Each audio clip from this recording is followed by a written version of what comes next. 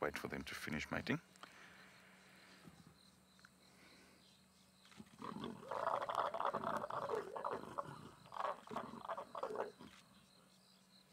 Oh, those sounds. Hmm.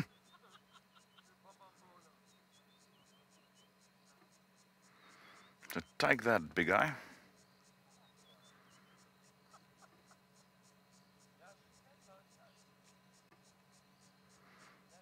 Think this is very likely our last view of them. Where they're going in now is going to be extremely tricky to go.